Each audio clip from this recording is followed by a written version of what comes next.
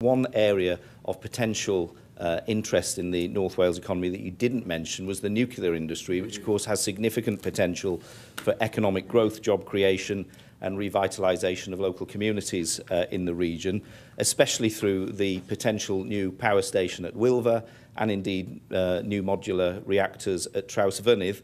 These projects could bring in hundreds of millions of pounds uh, of uh, inward investment, create thousands of jobs, have wider benefits to the whole of the North Wales uh, economy and indeed plug the energy security uh, gap uh, that we have here in Wales and the wider United Kingdom. What is the Welsh Government doing to make sure that we secure those benefits for uh, the economy and for our energy uh, security? And why on earth didn't you list the nuclear industry as one of those key priority sectors when you just rattled off that list of things on your paper?